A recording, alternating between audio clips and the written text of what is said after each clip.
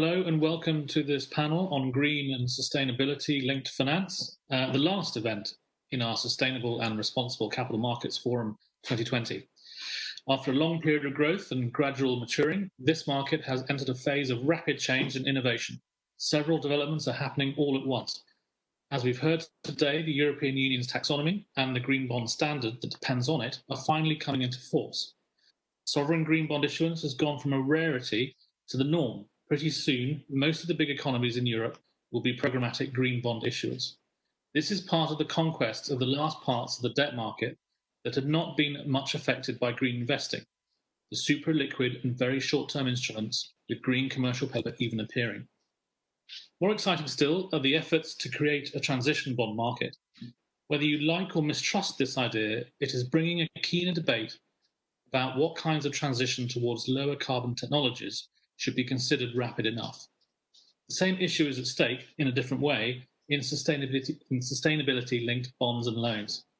The idea of linking financing conditions to specific uh, sustainability targets has the potential to apply to pretty well every capital markets issuer. But can it be done rigorously? And would that help to focus investors and issuers' minds on the complex challenges of sustainability? Well, um, to answer those questions and more, I'm delighted to say we have a fantastic set of panelists for you. Why don't we meet them first of all? And we'll start with Jarek.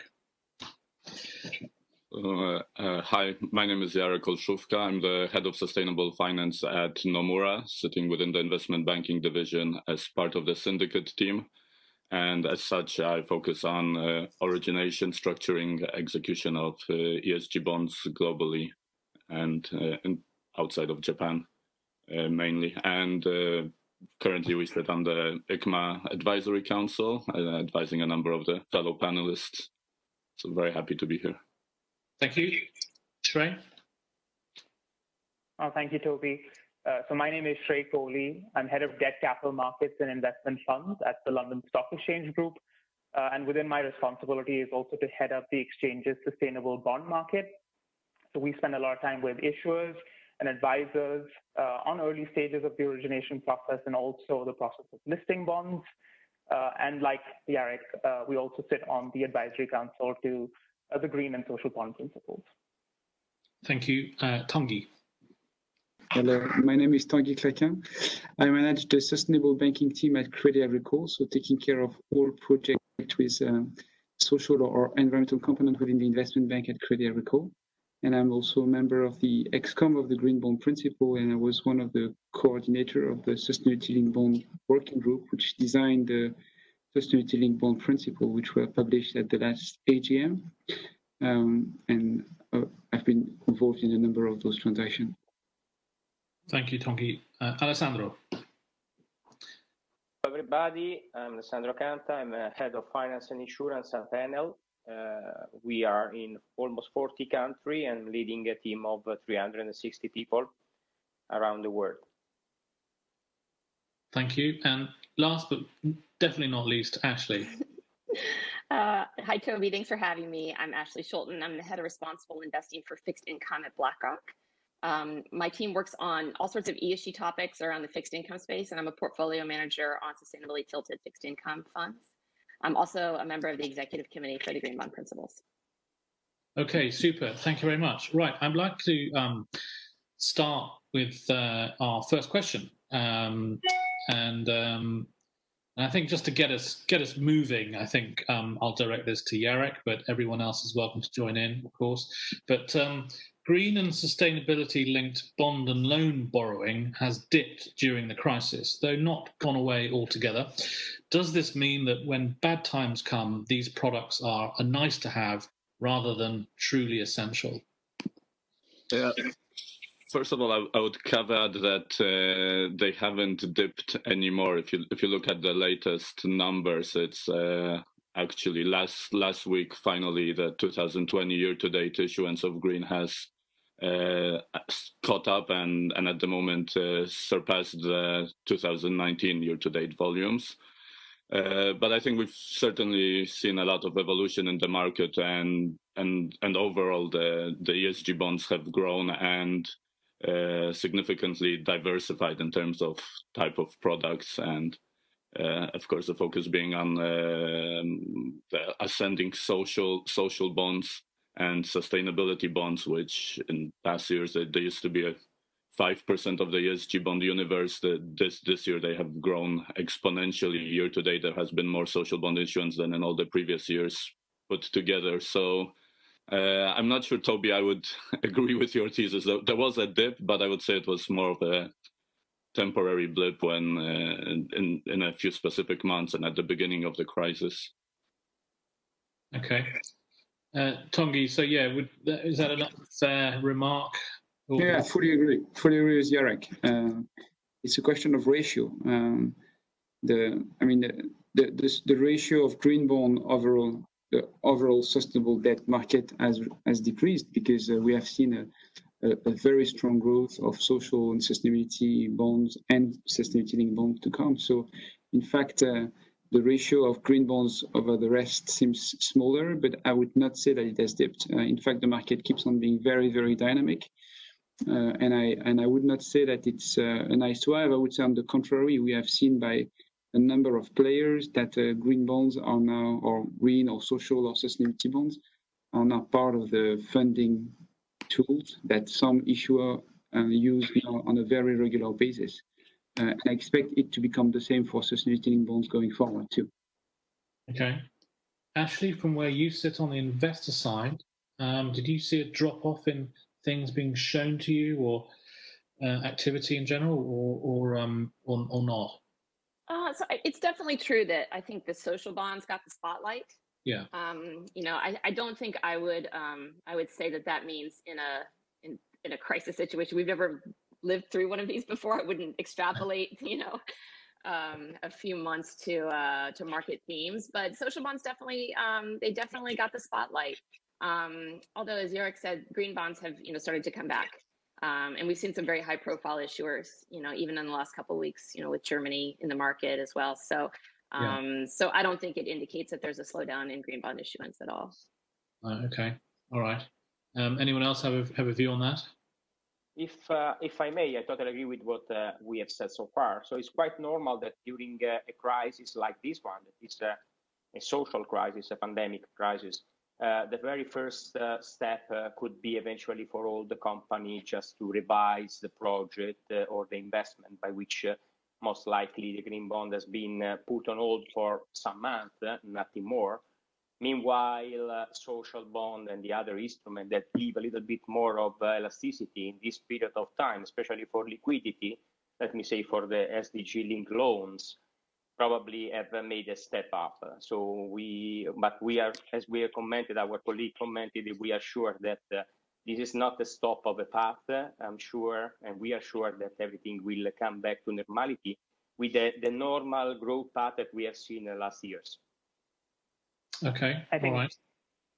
So we just, uh, if, if, you if you look at some other asset classes as well, uh, you know, when you've seen uh, companies raise equity um, to fund green projects, um, you know, they've done so. So Calisen, which is a smart metering company, um, got the green equities, green economy mark earlier this year and did market it to investors uh, as part of their capital raising. Uh, you've had a number of investment funds with strategies in energy efficiency, which have raised further, further capital uh, during the crisis as well.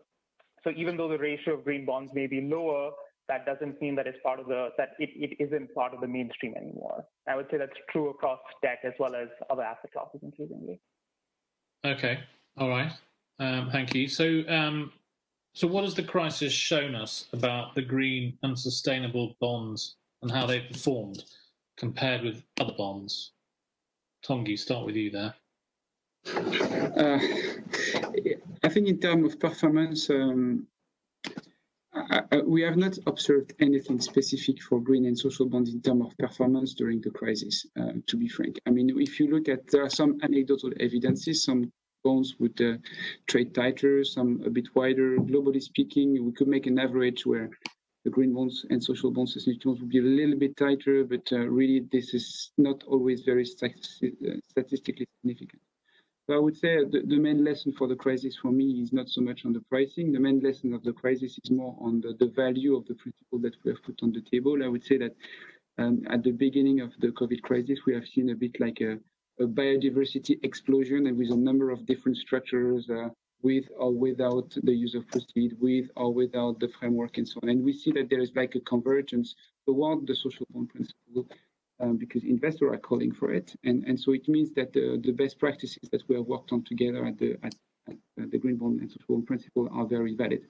In terms of pricing, uh, I would say the main lesson has come after the, the crisis for me was what Germany did. Um, I'm a bit biased because I've spent a lot of time on this, but uh, it's true that uh, this twin bond approach, where they have issued two bonds with exactly the same characteristics, or a green bond having exactly the same characteristic as a twin, is a, is a lesson, I would say, of um, uh, the absolute value of the of the difference between a green bond and, and, and a normal bond uh, or a standard bond, this green one. Um, which has a value. It's not it's not 10 basis points as you could read in some papers sometime. Uh, it's much less. It's very it's very small, one basis point but it's there. And so I think um, this is a lesson I would say for the highly rated part of the market for the AAA and, and SSA world. Um, that I would say come after the crisis. It's not really related to the crisis, but I think it's one of the lessons that is interesting for, for the for, for the coming years. And I think the willingness of Germany to build a curve not the topic of today's um, today's forum, but I think it's something that uh, will have long-lasting consequences for the market if they manage to, and I think they will manage to have very rapidly a number of highly liquid points uh, in the mid to long, in, in the short to mid-term maturity. Okay, um, Ashley, what Tanguy is describing there does that echo with, with, how you've seen things? It does. You know, we we um, run an analysis on a daily basis, an automated analysis of all the green bonds that we mark and where we see them trading. And we uh, we agree we don't see any significant tightening, maybe a little bit. Um, it's less than a handful of basis points. It does exist um, sometimes more strongly in euro-based issues from euro-denominated investors, and you know we can decide on you know maybe there's a stronger buyer base you know for that. Um, I think one thing that's you know interesting to point out is you know in this um, in this crisis we did see um, a lot of changes in flows to funds. And so um, you know, there was some, you know, some inflows into funds, outflows into funds, and our green bond funds um, did not experience any kind of liquidity issue with that. And so I think it's really reassuring that the market has gotten big enough.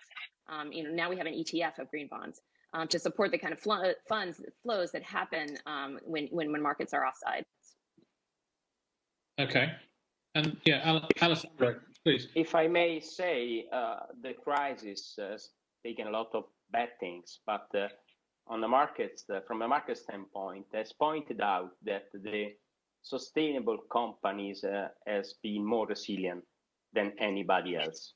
So uh, I think that we, with the crisis, uh, I mean, we're going to see a lot of possible candidates for making of the sustainable finance a mainstream uh, at whatever form it's possible, with whatever form it's possible, doesn't mean uh, if we're going to be transition, social, SDG link, or or green bond. But I think that uh, a lot of companies realize it's more than any any any any other times in in our life that. Uh, uh, being sustainable has got a, as a premium in respect of the performance of the other one in terms of results, in terms of stock performance, and most likely also in terms of the bond performance by which uh, I'm, I hope and I'm sure that we're gonna have find a lot of candidate for increasing potentially the path of sustainable finance. Sure. Um, how about you, Jarek? Um, um, uh, I, I, would, yeah.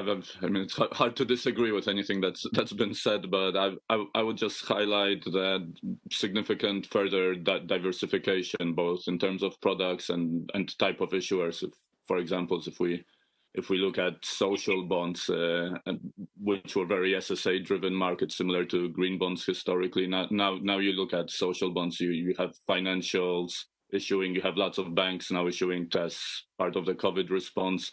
Uh, you have increasingly more non-financial corporates coming to the market. So, in in in a, in a way, to me, it's also a sign of further maturation of the of the market that it's it's growing both in terms of types of products and and also where it's coming from. Yeah. Okay. Um, and i'm just interested though during at the height of the crisis were um, i guess alessandro let's start with you here but um, did you or and indeed i'd like to hear the experience of others who have looked after their clients. Are, are, did you or, or other bond issuers find that investors are more interested in their ESG performance than before, or, or are they more worried about credit quality? Uh, no, I think that uh, there is a convergence in place uh, that everybody is looking for. Uh, we have, uh, as Enel, have done a, a, big step on trying to integrate as much as possible the sustainability report with the balance sheet. Yeah. And as you were saying, the investors are very much concerned about the reporting, the way in which you present your company. For sure, the credit is still the basic of their of their choice, but in any case the ESG part is growing and growing more in their concern, uh, up to the moment in which, as everybody hope, uh, the two uh, part of the same coin will be integrated. Mm. Now we see them a little bit separated still. the integration is there. Is our goal of all the companies and also the investors to go through a, let's say a unification of the two of the two sides of uh, the same company because uh, there is no anymore a, a, strategy of a company and uh, the sustainability strategy. Uh, now is the time to integrate. And as you were, uh, were saying, and your question is very important, for sure the investors, especially during crisis and volatility, are very concerned about the ESG factor because, as I said before, they realize that sustainable companies are more resilient. Mm. Okay, okay. Um, was that was that was that something that you saw, Tanguy during the height of the crisis, or? No, I mean, I, I fully agree with that. I mean, and, and if you if you look at the statistics um, during the crisis of some of the ESG weighted index on the more on the equity side, to be frank, but uh, mm. it's clear that the we have seen, um, I would say, a, a wide, I mean, a, a strengthening of, of the of the trend showing that uh, well-rated companies from an ESG standpoint have overperformed. That's clearly something that we have seen by many indices. And I would say I would also say that the convergence is now clearly completely um, completely organized. I think, by the way, I mean we just added uh, one of our conference by Kepler Chevreux, which is our equity broker, and I was listening to some of the broker. I was listening to some of the corporate presentation today from the CFOs, and so not on ESG. And clearly, part of their of their natural discussion with investors is about ESG topic, about the consequence of the crisis, and the, and the fact that the recovery will have to be sustainable. And that's that's not only an opportunity, but a necessity also for those corporate to see how they recover with uh, take, I mean with uh, investment that are in line with what is now expected by the society, by the regulator, and by investors. So the convergence in, in, in terms of the themes that are discussed by uh, the, the, the, top management of those companies and their investors um, between pure financial and pure ESG is clear now. I mean, those subjects are now completely interlinked. Yeah. So, Ashley, um, probably a, an, an, unfair question for you, but what, what was the, what was BlackRock's attitude uh, during the crisis. And I know you have a very much an ESG hat on all the time, but you work for a company that's not just ESG, if you know what I mean. Um, what, what, was the attitude towards credit versus ESG, and has that changed at all? So I would say even prior to the crisis, I think there um, there has definitely been this acknowledgement at BlackRock and across markets that um, that sustainability topics now are financially material um, and becoming more so. Um, and I would agree with Alessandro that there's definitely a convergence going on. Um, I think there are certain sustainability topics, especially around climate change, um, that we think are integral to assessing risk and reward. Um, especially as Tanguy mentioned, when you enter into an environment where there is regulatory support around a lot of these themes, this is just being a good investor. Um, it's not necessarily carving out um, and thinking about just impact products. This is thinking about, um, you know, what is the ultimate risk reward on this portfolio, and how do sustainability themes that are going on really affect that? So, um, so we saw the same themes um, over the, you know, the the volatile couple months, um, the, starting in March. That a lot of the ESG products that we have, we have sister products that are the ESG version you know, of many indices that those definitely did show more resilience during that backup, as Tony points out. Okay, okay, interesting. Um, so um, my next question is um, is how can issuing a special debt instrument address investors' concerns about a company's ESG characteristics? Slightly naughty question, and, and I'll put that to Tanguy to start with. I'm happy to take those naughty questions. I think I love this question. You know, Toby. I mean, that's a that's a great one. I think uh, we have you have heard several times in this type of panels, and and I really support this idea. I mean, the green green bonds or sustainability bonds to some extent, before being a product, they're a process. And I know that from having advised a number of those players in this in this in this market and a number of integral players, including Alessandro, in this market. Clearly, uh, the process uh, of issuing a green bond when it's a first of a kind, or the process of issuing a sustainability bond with the process when it's first of a kind, mobilizes people within the company at a level that shows that this company has a governance that goes beyond the average, that is really structured so that people work together, structured so that sustainability is on top on the agenda on the agenda and not uh, just a nice to have. And clearly, before providing with investor with the accountability and the transparency, that is very interesting. It shows the quality of the governance at the at the company level. So green bonds, social sustainability bonds, they are not E or S product. They are G product. They show the governance of, of and I would, you know, I would even say that for sovereigns. I mean, I, I again, I've spent a number of days with with the German ministries preparing for that green bond, and it shows uh, the alignment of different ministries from different parties, but the ability to work together on a given project, it shows a, a level of maturity um, and that, that is very interesting information for investors. Uh, okay. Uh, Shrey, anything to add there? Yeah, I mean, I, I completely echo uh, Tanguy's comments. So I think even if you start looking at sovereign risk models, which now incorporate climate, the act of issuing a GSS bond uh, puts you at an advantage. Because as Tanguy says, you know, you've gone through uh, the process of implementing the four pillars of the Green Bond Principles, which, uh, you know, are, are material. Uh, and we see this when we're in conversations with a number of, uh, you know, emerging market uh, issuers as well. just the act of setting up processes to, for management of proceeds or project selection sometimes allows uh, entities, whether they be uh, you know utilities companies or FIGs, to assess their portfolios in a much more holistic basis than previously.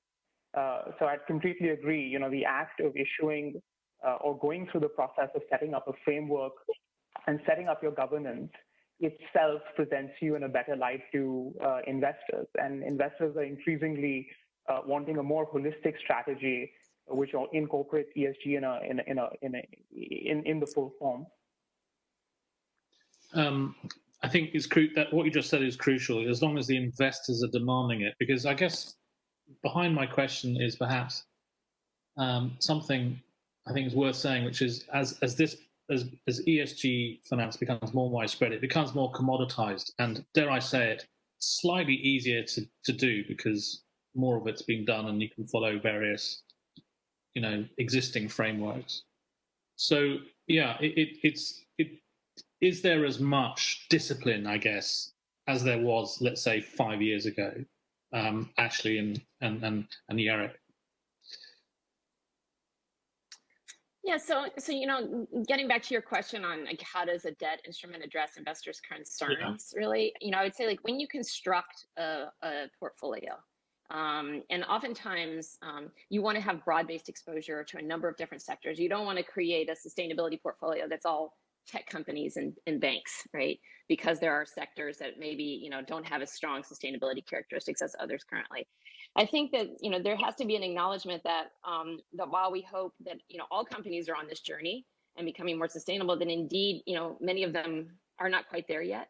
Um, but as Tanguy points out, are trying um, are putting uh, spending plans into things that are you know very sustainable that you know a sustainable sustainability fund would like to support and so that in that way i think some of these use of proceeds bonds can be really helpful mm-hmm. um, in constructing portfolios um, you know the, the old school way of doing um, you know an esg screen if you will maybe to have a coal screen or something like that. There are very there are nuanced stories now. There are companies that maybe you know would be screened by an old school screen that maybe you know maybe you do want to invest in that you do want to help transition. Um, and so having those carve outs i think is really helpful from a portfolio construction point of view. Um, and then to your to your question about um, you know what's changing. I would say that you know i think there are more eyes on this market than ever before. Um, i think that um, issuers and underwriters um, thank you uh, are being really careful about what they bring to market. I think the threat of greenwashing is just um, is scary you know? We don't really want to go down that road for a lot of issuers. Um, but you know we are doing things as the market grows to help um, to flesh out you know what what are the better products. And so you know at blackrock we have um, which a number of you know, we have a shading system that we apply to the green bond space. So we have dark green, medium green, light green. So we evaluate all bonds that come in um, and we put a scoring on them that's available to all our PMs. And we have a taxonomy around that. Um, and just recently, we've had enough social bond issuance this year that we've been able to now come up with a social bond taxonomy, which we didn't have last year. We hmm. didn't really have enough to go on. And so now we have a dark gold, medium gold, light gold taxonomy. I would say that it's in beta, that we're testing it out um, but trying to come up with what are the different thresholds and you know what do we consider best in class within the sector? And um, and certainly the more transparency the more reporting we get which we get in those use of proceeds bonds um, that's in- incredibly helpful. Okay uh, Jarek. yeah. Again toby i, I, I would dis- disagree with your thesis and per- perhaps i would love to agree with you that it's commoditized and maybe the day-to-day job would be more boring but it doesn't feel as a structure originator because uh, we're having more and more types of structures, uh, different products, both within the fixed income space and and outside of fixed income. So so we're looking at a wider array, and and also we're getting constantly new industries coming, trying to come to the market. Uh, new types of structures, new demands from uh, investors. Investors getting certainly more and more sophisticated, uh, what they require, and partly driven also that asset owners also have more specific mandates and more specific asks. So uh, I, I, think we're far from. It, it, certainly helps that there are precedents out there, and and there's more and more guidance, and we've seen that, for example, with social bonds. When when in March it was kind of um, free for all. There was there was not much guidance, and then ICMA quickly came out with uh, Q&A and then updating the social bond principles in in June.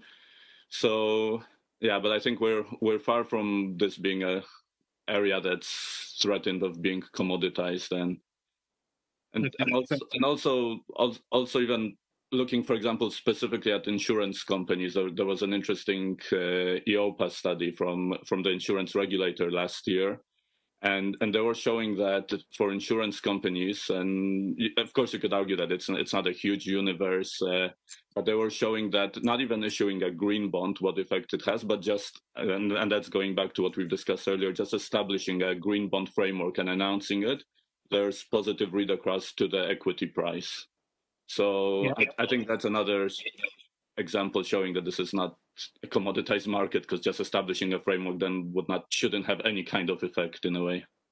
Okay, okay, um, good point.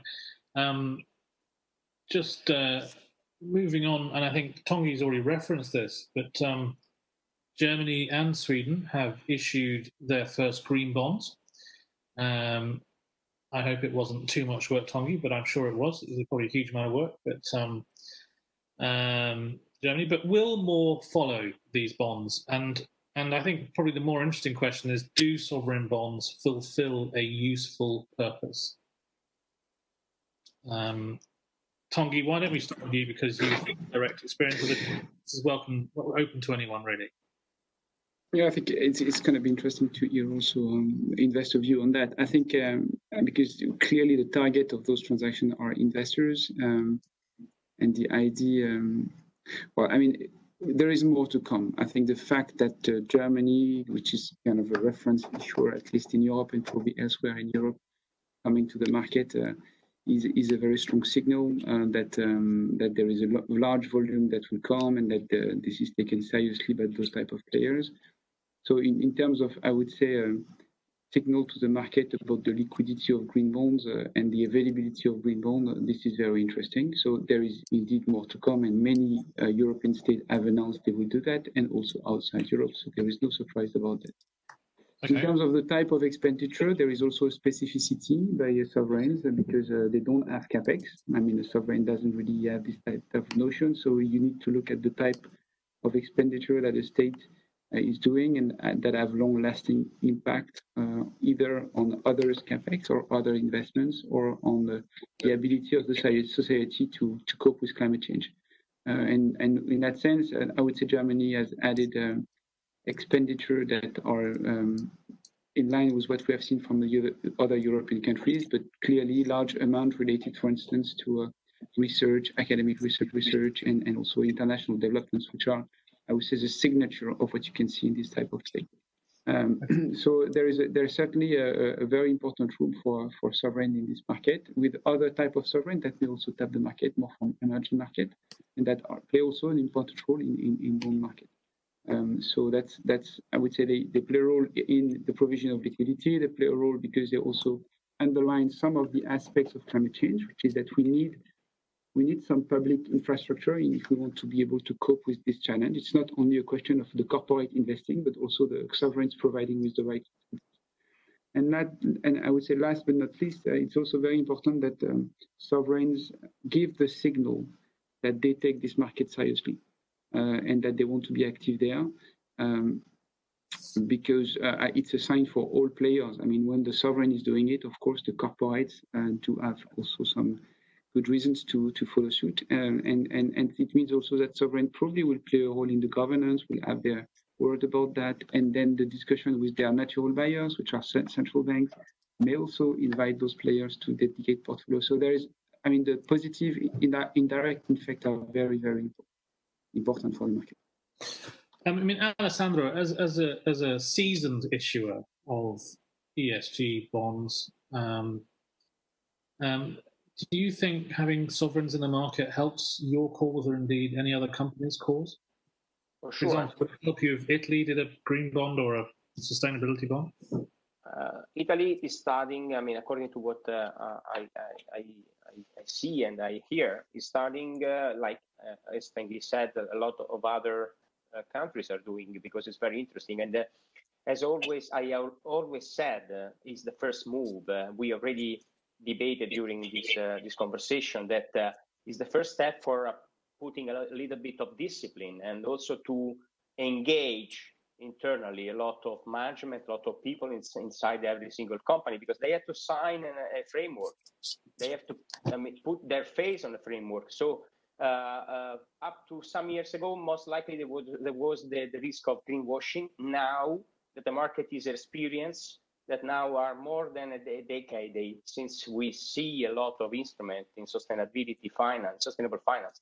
I think that the reputational risk prevent a lot of company uh, from, uh, say, playing around uh, with their name. So uh, for sure, government has always set up benchmark uh, that are very, very important for everybody. Uh, so I think that they are needed, they are necessary, and we welcome that. Uh, so, but you know that uh, when also we have spoken about uh, uh, strategy, how how can we, how can the investor really rely on the strategy of a company? The first step, as I said, could be the use of proceeds, as we also we have done successfully for some years. I think that going forward, not just to uh, say sponsorize too much what we have done, but uh, uh, going ahead in order really to be to be sure that the, the, strategy has a 100% convergence with certain objective, we're going to have to set up objective and KPI. And I don't know if uh, there will be a time in which also government will do the same. But for the time being, uh, we need this market to mature. And so we were missing uh, this big issuer that are government, the big issuers, mm, I say arena that are the government. So we, we really welcome that. Okay, thank you. Um, Shrey, I know that you've worked closely with Fiji, Hungary, Hong Kong, Chile, probably a few more. Um, how have they helped? Have the, I mean, in your mind, have they they raised the profile of, of green finance helpfully? Yeah, and I mean, just to draw out two points that Tanguy and Alessandro mentioned. So, one, I think we've reached a point where there's a certain amount of robustness, right? Where if you don't issue in the market credibly, uh, then investors who've now seen a few issuances can can see that, and they can see that in the green framework, the the, the shades of it, uh, and the nature and structure of the issuance. But secondly, I think uh, the impact of the signaling or the demonstrative effect is pretty important. Uh, and I think this is more true outside developed markets because for uh, emerging markets, you have a range of local players, whether it be you know lead local banks, uh, audit firms, uh, ratings providers, uh, exchanges, who normally get involved in an, an, an issuance. And the act of the issuance itself is a, um, I mean, it's, it's, it's an educational process.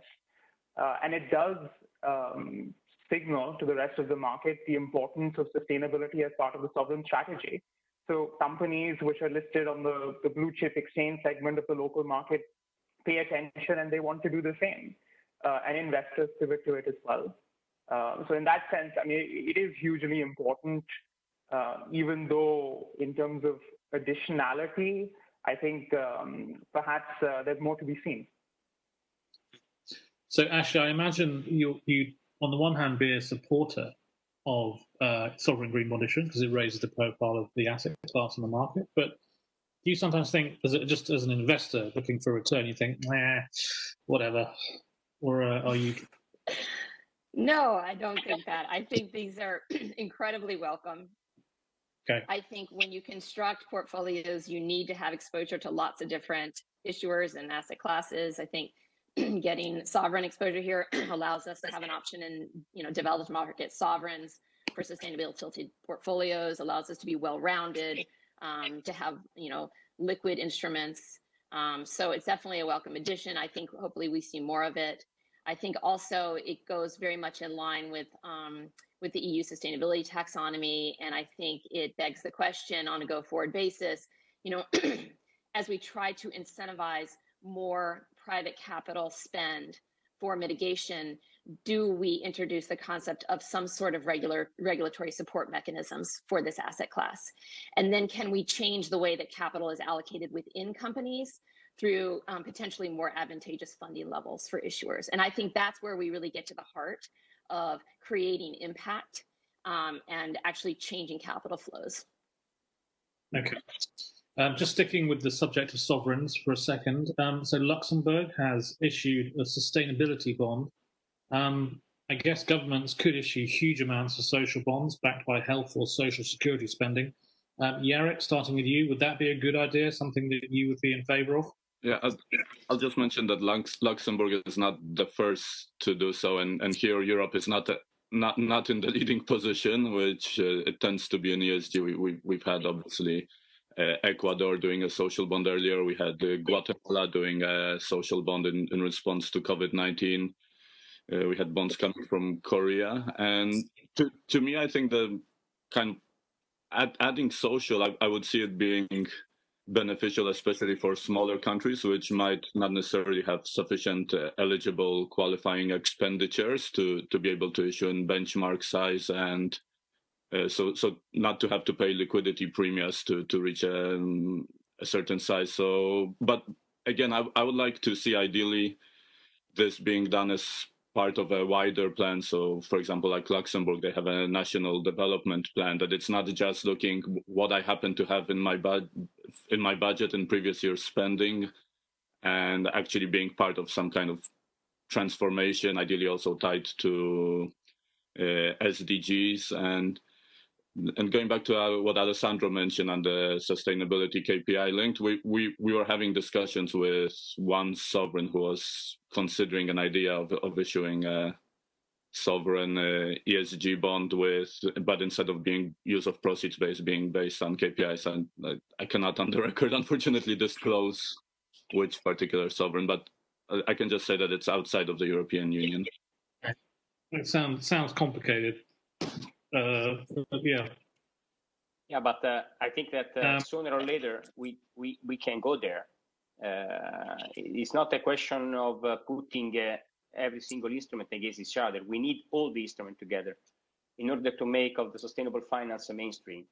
For example, we have tried also to let's say debate with the European Commission a possible idea of some subsidies uh, on the cost of debt to the extent that is sustainable, that could uh, really trigger an increase of investment in Europe for the recovery plan. Uh, so uh, we have to everybody to do our best in order to try to uh, make of the sustainable financing uh, the mainstream. Otherwise, we're going to continue to speak for years about, uh, I mean, a product reliable. So the fact that one government is studying or trying to study a possible step forward uh, this is not meaning that uh, the use of proceeds uh, doesn't guarantee, uh, like the SDG or the KPI link, a guaranteed discipline. All the different products guarantee discipline to the extent that are reliable. To the extent that I am able to demonstrate that my KPI at the government level, at the corporate level, at whatever level is reliable, measurable, I think that uh, we have to stop a question if the user proceeds guarantees more investor in respect of the other other product. And uh, we need all the product to let's say convene together. Okay. Um, okay. Um, I, I, you know what? We, I think we will go back in a minute to sustainability linked finance, um, but I just want to bring in something else which I mentioned in my opening um, introduction, which was that um, which is around transition bonds. And so now that the taxonomy has defined transition activities as sustainable, um, is there any need for transition bonds? Uh, Tanguy? Uh, for the moment, the, the, the, the, taxonomy is still in draft format. I, uh, it's already uh, well advanced, but it's not completely final. I mean, the delegated act, I won't enter into all the details of the European calendar, but the delegated acts are not published yet. And when they'll be published, they are not on all um, activities. I mean, there are a number of sectors that are not covered for the moment. So in fact, for the moment, we still need transition bond from my standpoint, because it's a way to discuss of what is at the boundary without having to kill each other to say if it's green or not, which I think is useless. I think we need to have some projects that are on the boundary and we all have our definition. So transition is a way to, to I mean, organize this dialogue. Of course, when the taxonomy is out and with a clear definition of what is transition and what is not, there is a bit less need in Europe, at least for transition bond. But um, Europe is not the only place in the world where we issue bonds, so there might be also need outside Europe to discuss transition. And specifically, uh, if you look at the asset that we have used in transition bond, for instance, the transition from coal to gas, um, in some areas, which clearly is saving carbon or uh, the development of some shipping capacities. Um, this is not very related to Europe, actually. This is more important in other areas in the world. So that's why I think this concept keeps on having some validity. Yeah. Anyone have anything to add there? Ashley. I'll, I'll add. I think I think those are all fair points. I would say that I think the question that we have is transition to what? And I think when we look at the taxonomy, um, that there's very helpful clarification. I think we've heard this, um, you know, out of the working group at the GBP is that um, it's, you know, proper transition is transitioned to carbon neutrality in 2050. And I think that if you are if you are working on projects that are on that pathway to carbon neutrality, then arguably they are mitigation projects and they should belong in a green bond format. Now, I totally understand the sensitivity um, of labeling green. Um, we're getting a lot of different labels coming on the market. We have blue bonds and gender bonds and transition bonds and climate adaptation bonds, et cetera. Um, I think oftentimes those do a lot of times fit under the umbrella of green bonds. And I think the sustainability taxonomy is, is doing a very uh, a big service to the market by helping us decide what those are. Um, I think that it's um, it's not something where I think we could have a special carve out for use of proceeds for projects that we would maybe consider light brown. That's probably not somewhere where the transition bond label um, is something that we would use in sustainability portfolios.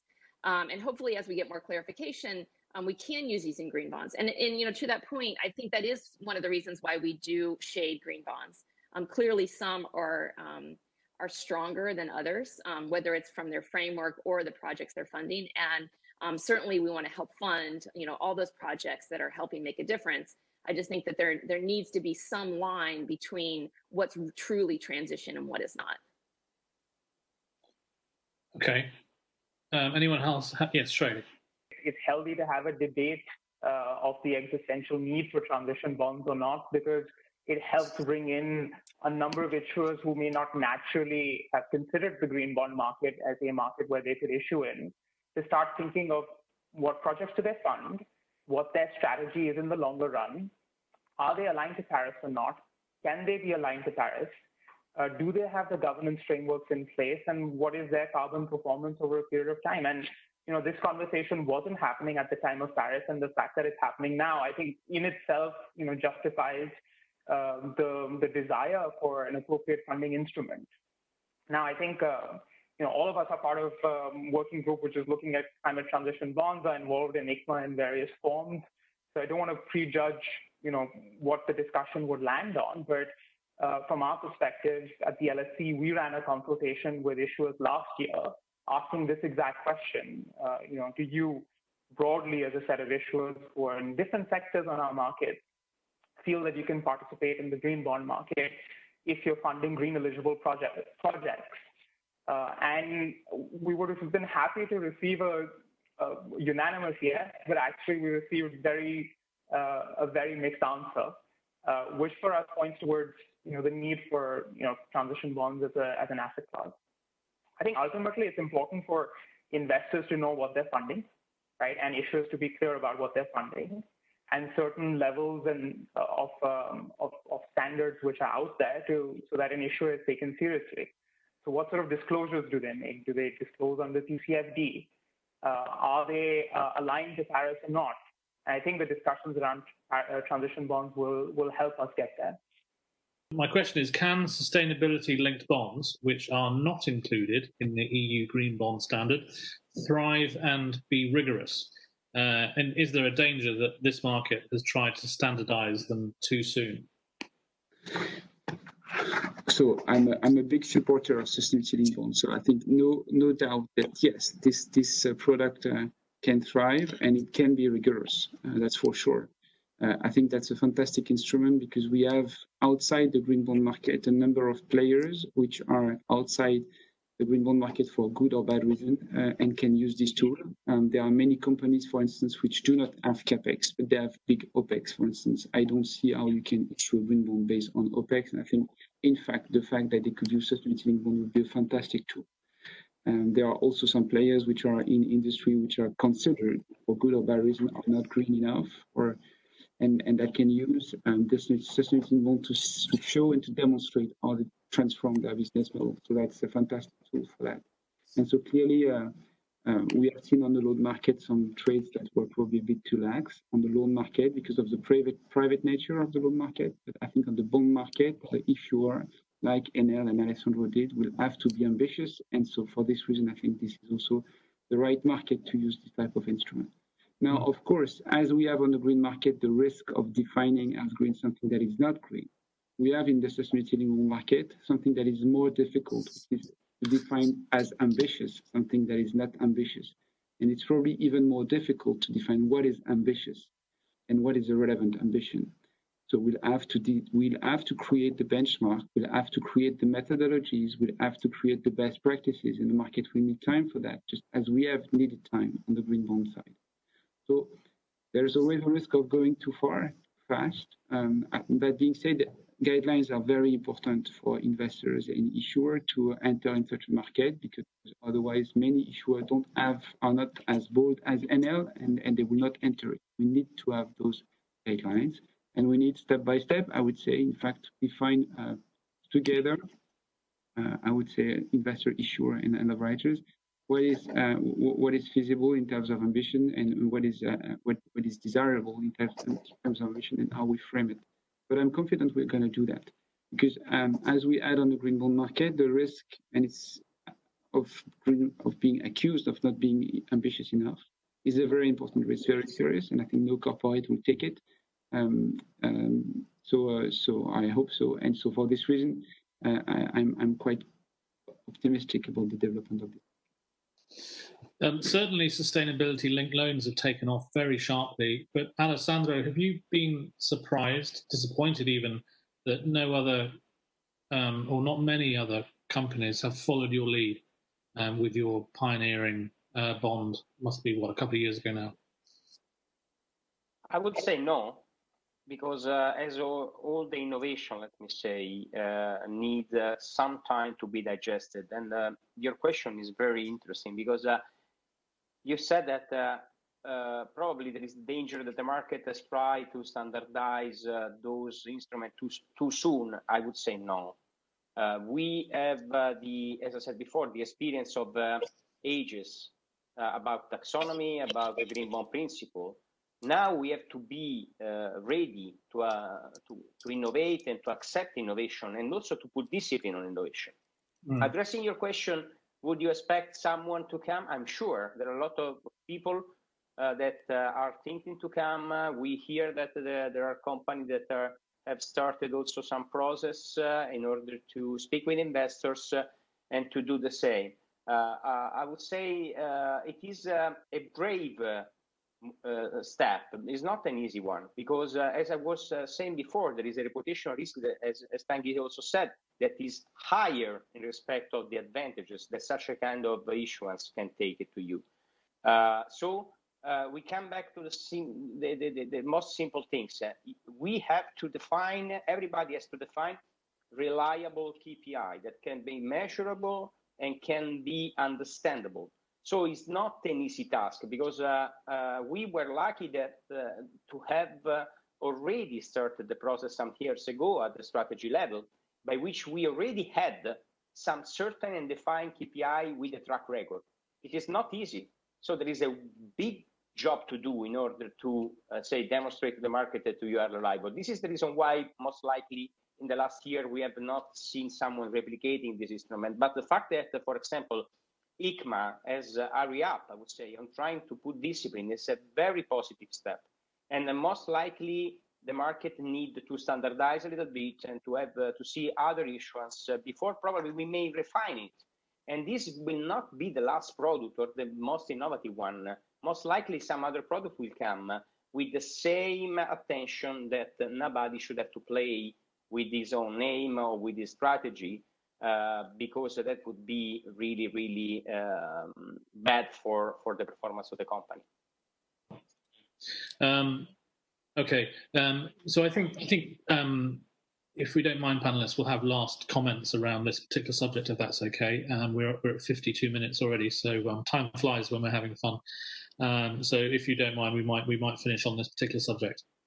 Um, who, would like to comment? Ashley, for example, um, uh, um, sustainability linked bonds uh, something that you personally like and that you would advise your your investors to get stuck into? Uh, yeah, I think there are. I mean, I just I don't want it to be lost that there on that there are lots of ways to look at companies that are outside just a particular bond issuance, whether it's a green bond or a sustainability linked bond. You know, we look at a number of factors um, at the company level, and I think there's a lot of innovation going on out there in terms of viewing companies' forward commitments so whether a company has set science-based targets, for example, whether a company, um, and Alessandra, as your company has done, has set executive um, remuneration tied to some sustainability goals. Um, all those things really help us understand, is this company in transition or not? Um, and I think that those kind of indicators can be used in portfolios in the same way um, that just a specific, you know, individual bond can be used. So, you know, I think that, um, you know, there's some questions in the market that we'll need to, you know, flush out. And one of them is, you know, are these created, um, creating structured notes? Do those create some complication for certain investor, you know, investment management agreements, et cetera? Um, but you know, clearly, I think you know, the guidance that we've seen out of ICMA is to have um, some really defensible, strong um, standards, and I think that that is only helpful. Yeah, it's just something that um, product that Nomura likes and w- will help its issuers to to to, to actually formulate and, and, and launch onto the market?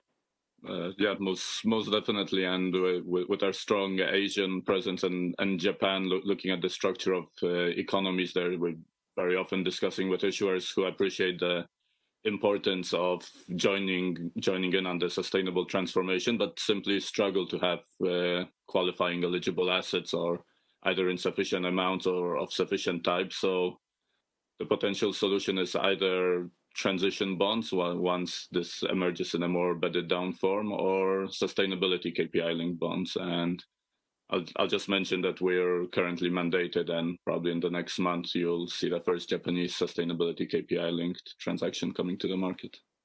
Exciting. And Shrey, does um, I mean, does does the do these types of bonds when they're KPI linked, is it more of a headache for you as an exchange, for example?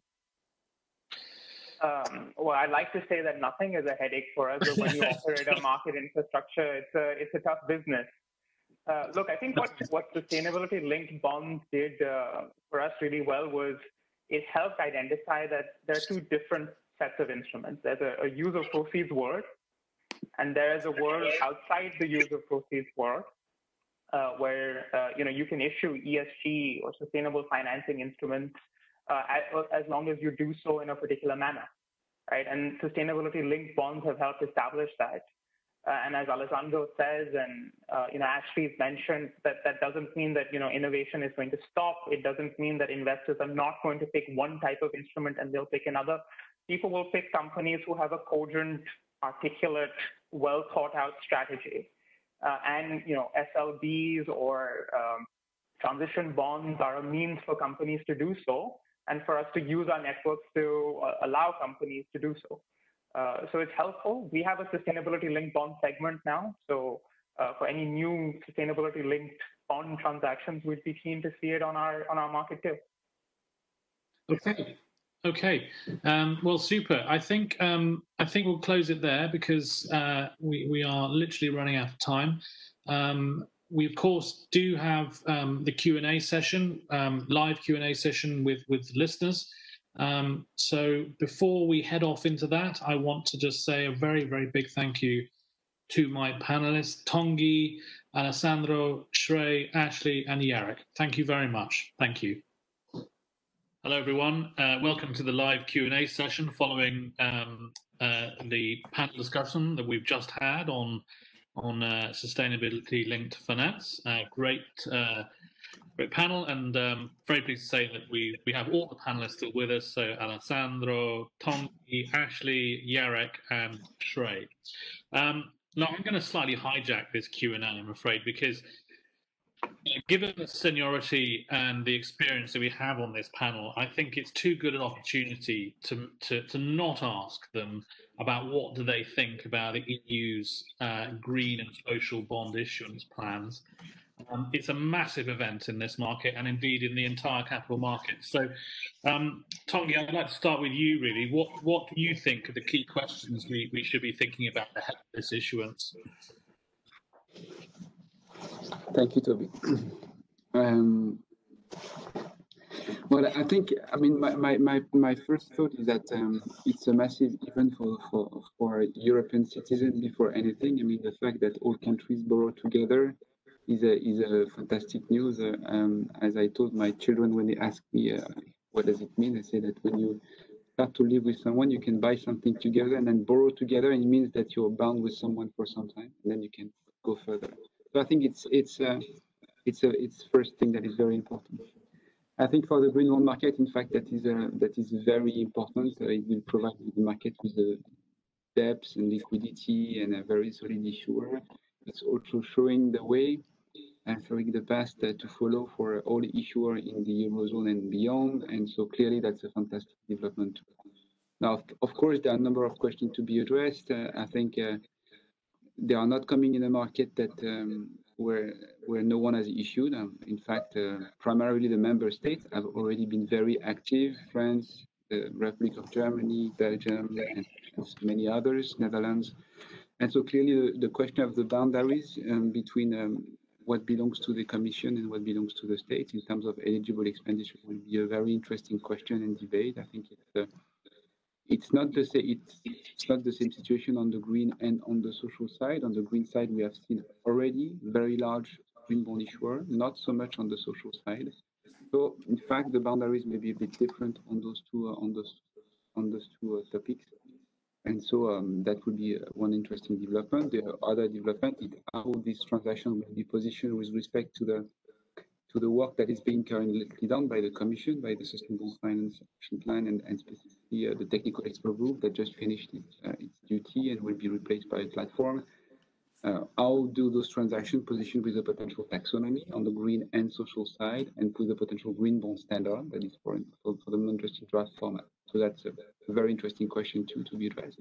Mm. And of course, the overall governance, which is a question that we have in Europe beyond uh, beyond bonds, but clearly the governance of the management and reporting on those expenditure will be a, will be also an interesting point. But I mean, globally, as you rightly mentioned, that is a that is a great message for the for the for the market uh, that uh, such a potentially large issuer show its uh, commitment to this market for this type of amounts. I mean, uh, this is moving the needle, and I think uh, I will conclude on that. I think uh, for all the practitioners who've been active in this market for a while, and I see my colleagues here, faces of my colleagues here, we have all been longing for the moment where really green social bonds they represent a significant share of the market because we believe that this is the moment where really the market will start to have an influence on the transition. I think Europe could bring us there. So um, thank you, Tanguy. Um, Ashley, um, you're an investor. What are the what are your key questions that you what are the questions that you need answering? Um, so you know, I'd agree with what you know Tanguy had to say. I think you know it's an exciting moment. I think we've been building to this for years in the green bond market. Um, we've been really positive on the concept of um, what we've seen of the EU green bond label. Um, it's very much in line with what we work on at the Green Bond Principles and some of the work the Climate Bonds Initiative is doing. Um, and so we're excited about it. I think you know the the technical parts of it, you know, we'll work through. We were just talking about, you know, do we treat this issuance as supra or government? You know, how does it fit into indices? You know, what does it do to our global green bond funds, et cetera? Uh, but that's all good, and that's all you know progress um, in the name of you know getting green bonds to be able to really change capital allocation in in the entire economy. Yeah, I mean, you raised an interesting point about where this would sit um, indices wise. Shrey, you, you might have a view on that. I'm going to have to check with our, our FTSE Russell World Government Bond Index colleagues, but look, it's a, it's a momentous occasion for Europe, and I think uh, other large sovereigns will take notice in giving funding requirements now. Um, you know, I sit in London. I'm sure the UK DMO is paying um, a very close notice. Mm. Uh, a number of other panel members sit on our sustainable bond market advisory group, and I'm sure the issuance will be talked about in um, in in great interest. Yeah, interesting point there about the DMO. Um, Jarek, anything to add there? Um, and then I'll we'll get on to you, Alessandro. But Jarek. Yeah, I, I, think it's going to be some time until we actually see this come to the market because looking how the program is set up and and, and the whole new, next generation EU funding, it, mem- member states, uh, the national authorities first are tasked to identify the underlying projects and they, then they need to submit it to approval by the institutions in Brussels. So for me, it's going to be also interesting to see how much of what is submitted will actually qualify to be green eligible and and and how, how that would fit in. But but I think it's it's of course a, a huge development and and apart from you know, giving more depth, liquidity, and maturity to the whole market, I I think it will also help because because unbelievably there are still investors who do not focus in this area, and and with having so much uh, such an issue issuer with such size come to the market, I, I think this will put it firmly on on everyone's radar. Yeah, um, yeah. Sorry, Alessandro, as an issuer, um, presumably the EU is going to help you, or or or not? What do you think? But it's, it's going to help all the sustainable company because they not only have shown the commitment versus some target, but now they have blessed that is the only way to finance sustainability is sustainable finance. Whatever instrument, whatever label you're going to go, uh, you decide to utilize, they have shown the path. Mm. So indirectly, for companies that are devoted and committed, uh, is an advantage because there is someone uh, below, uh, above us that is uh, blessing the way in which we should have to finance ourselves in the in the future. Yeah. Okay. Um, so, Alessandro, sticking with you, and if we could just sort of return to the topic of sustainability linked finance. Now, obviously, Enel was first out there with the sustainability linked bond. Um, last Thursday, we saw uh, Suzano, Brazilian pulp and paper producer, issue a $750 million um, sustainability linked bond tied to the company cutting its greenhouse gas, emissions by 50% over 10 years. Um, uh, with the coupon increasing if it doesn't hit certain targets. Now that that deal has been sold, um, what do you think about it? And we've of course seen Novartis come with something too. Um, I guess um, it's great that we've finally seen a couple of deals to follow yours. But what, what, what do you and our panelists think about those most recent deals? Uh, I think that is uh, quite normal that uh, some company have started to look at uh, uh, their own uh, balance sheet, their own plan, and also to decide and to evaluate if they have some particular reliable KPI on which they can build up such a kind of story to be financed in the same way. So I think that there are other companies that are doing the same for the benefit of the investors because as we said also during the, the panel, it is uh, very much important to have discipline and to choose uh, and to validate the right KPI. So they have done their own homework. they thought they had some good KPI to present to the investor, and so they have chosen this way. Uh, we have a good experience of green bond in which investors uh, in the last uh, 10 years felt, felt comfortable with that uh, with the discipline that the market has attributed to the green bond. Uh, now we have another instrument that has proven to be effective at the same way, complementary to the ones that we had before. Thank you. I know that we touched on this subject during the panel, but um, you know, it, raised six billion, uh, or it, it, attracted six billion of orders. Ashley, does that worry you slightly that it's a bit frothy? Uh, well, look, I think you know we're in the context of environment where there's a strong bid for you know lots of corporate bond issuances in the market. So I don't know if I'd read too you know so much into deal sizes right now. Um, yeah, I think you know I think that Alessandro you know hits it on the head by saying you know we really have to think about the KPIs that are selected. You know, are these the right KPIs? Are these KPIs that issuers care about? Are these KPIs that are set at, at levels that are ambitious enough to be meaningful? Um, do they make a difference? You know, do they change the sustainable profile of the issuer? And um, I think the market's just feeling its way through that. Mm. Tanguy, about you? Um, it's a great result, I guess, to show the issuer, but does it, show, does it tell us the real story? Well, I think it does. I think I think my um, I have really nothing to add to what my colleague have just said. I think this, and I think we discussed it during the panel already. I mean, this is a great instrument. Um, it's, it's, we we need to have company leading the way right now. Um, Enel did it one year ago. We, it's very nice that Suzano is doing it also from US-based company uh, from a LATAM issuer. Um, I think clearly uh, there, there, will be, uh, this opens a, a fantastic and wide uh, ground of discussions because we knew already was, I mean, we knew all, it has been difficult to define what is green and what is not green. And so we still have some debate. That's a difficult question.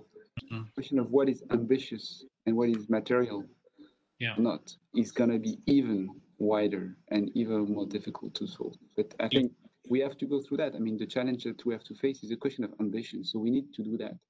Mm-hmm. That's clearly a, a, brand new question. What is ambitious?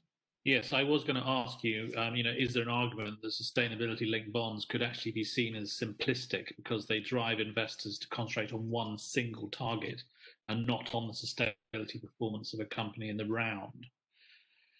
Yeah, I mean, precisely on that. I think um, the, the, the, one of the key questions for a company is to find one KPI that we, is really holistic enough to capture all the main sustainability stakes and the main sustainability challenge that the company is facing or can address. Mm. I think for Enel, they did a great job and they had a very good KPI with the share of renewable in their energy mix and also with their carbon footprint. And it's an energy company, so that's a, it's an obvious metric. Yeah. There are many other areas where the metric is not that obvious, but I think it's also a very good exercise for the company to try to find what is precisely this metric that capture uh, both. I mean, what is something that is core for the business and that is also core for the for the environmental challenge that we have to face. So it's simplistic. In fact, it's it's a very simple way to put sustainability in, in a transaction. But the question that we need to answer in order to assess if the deal is, is properly structured, is credible, are very difficult, but that's not a surprise. Yeah. So Alessandro, that you know the criticism that it may be too simplistic does that does that worry you at all, or are you not bothered? Mm, no, I mean uh, it was quite normal the very moment in which you innovate uh, uh, with a new product, but uh, if you look at uh, the background of our index uh, that we have been presenting the last four or five business plan, uh, we were aware that uh, the investors would have understood uh, what is the effort behind uh, the index and the effort of the company to achieve the percentage of renewable and also the target of decarbonization. So we felt that there may have been some reaction, um, different reaction, but we, after having double checked with the investors directly, we were, I wouldn't say sure, uh, but the challenge that the investors made uh, and also uh, our discussion with them has given us also some comfort that we were on the right path. Okay. Um, yeah, Shrey, anything to add there? No, I think um, you know it's been the point's been well made. What's what's great to see a, a diversity of issuers in the market, a diversity of funding instruments, uh, we know the, the sustainability linked loan market is also getting more active, which is, you know, augurs well, I think, for the bond market. And even if you just see use of proceeds instruments, so the last three days, you've seen, uh, you know, a wide range of issuers. You've seen Burberry become the first inaugural you know, luxury company to issue a sustainability bond. You've seen Mexico do a social green uh, issuance. You've seen Qatar National Bank do a green issuance. Each of them brings its different, you know, challenges in terms of the geographies that they operate. And even though they're user proceeds instruments, it just shows the widening of widening of the market. So I think it's it's healthy that the market is is diversifying. Yeah, Jarek. Yeah, anything just before we finish? Well, I've, I've, I've, I fully agree, but I got, also going back to your question, I, I don't think that investors will purely focus on, on just one K, KPI. I think they will still look whether it's uh, at ESG ratings or conduct ESG evaluation, they'll, look at the overall strategy and, and analyze holistically. So I don't think it necessarily means that there's this one KPI which can trigger either a penalty or a reward, depending if it's uh, met or missed. And then simply they, they disregard the whole approach. So, but I, yeah, I fully agree that this is a complementary product and, and in, in our view will open big swaths of the market to to companies which simply are not able to identify sufficient amounts of eligible greenhouse social assets as this could be another alternative. Great. Okay. Well, uh, I think we might uh, finish there um, if that's all right. Um, I'd like to thank everyone for tuning into this, um, but especially I'd like to thank my panelists for uh, making themselves available for these questions. Thank you very much. Much appreciated. Um, now, everyone listening, I'm going to ask you, if at all possible, to go back into the Hub platform where, by technological magic, you will find me about to deliver the uh, closing speech. So, will you please um, make your way over there? But um, if I might just say now, thank you very, very much for joining everyone, and thank you for joining over the last three days. It's been a, a great experience, and I hope you found it useful. Thank you very much.